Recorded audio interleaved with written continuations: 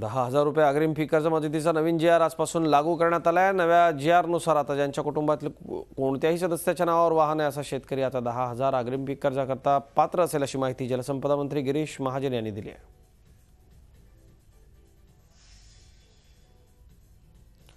राज्यातल्या जिल्हा बँकांमध्ये पडून असलेल्या पाच हजार दोनशे अठ्ठावीस कोटी रुपयांच्या जुन्या नोटा रिझर्व्ह बँकेत जमा करण्याचा निर्णय झाला त्यामुळे जिल्हा बँकांची आर्थिक स्थिती सुधारणार असून शेतकऱ्यांना नवं पीक कर्ज देण्यासाठी निधी उपलब्ध होणार आहे. मुख्यमंत्र्यांना मुख्यमंत्र्यांनी तातडीनं शेतकऱ्यांना कर्ज उपलब्ध करून देण्याबाबतीत आदेश दिले राज्यात दिवसभरामध्ये पाच शेतकऱ्यांच्या आत्महत्या झाल्यात. कर्जाला कंटाळून परभणीतल्या पाथरीत दाम्पत्यानं मृत्यूला कवटाळलंय. मनमाडमध्ये चितार असून वृद्ध शेतकऱ्यांना स्वतःला पेटवून घेतलंय. तर अहमदनगर जिल्ह्यातल्या श्रीरामपूर तालुक्यामधल्या दिलीप दत्तात्रय वानखडे या शेहेचाळीस वर्षांच्या शेतकऱ्यानं विष पिऊन आत्महत्या केली आहे.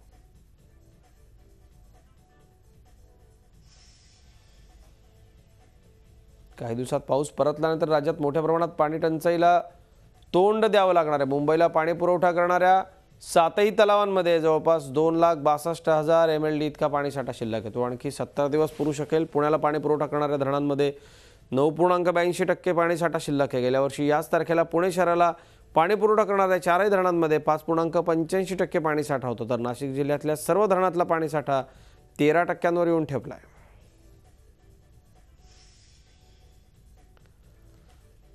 राज्याचे वनमंत्री सुधीर मुनगंटीवार यांनी मातोश्रीवर जाऊन उद्धव ठाकरेंची भेट घेतली. मुनगंटीवार यांनी शिवसेना पक्षप्रमुख उद्धव ठाकरे यांना वृक्षारोपण कार्यक्रमाचं आमंत्रण दिलं आहे शेतकऱ्यांच्या कर्जमाफीच्या निकषावर शिवसेना पक्षप्रमुख उद्धव ठाकरे आणि मंत्रिगटात एकमत झाल्याचा दावा महसूल मंत्री चंद्रकांत पाटील यांनी केला आहे त्यांनीही आज मातोश्रीवर ठाकरेंची भेट घेतली. घराच्या गच्चीवर खेळत असताना तारांचा स्पर्श झाल्यानं नागपूरमध्ये स्वयं पांडे नावाच्या पाच वर्षांच्या मुलाचा मृत्यू झाला. मंगळवारी खेळत असताना हा मुलगा आपल्या घराच्या गच्चीवर गेला.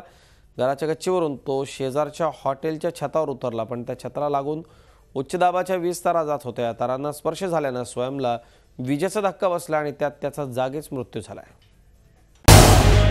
झी चोवीस तास रहा एक पाऊल पुढे.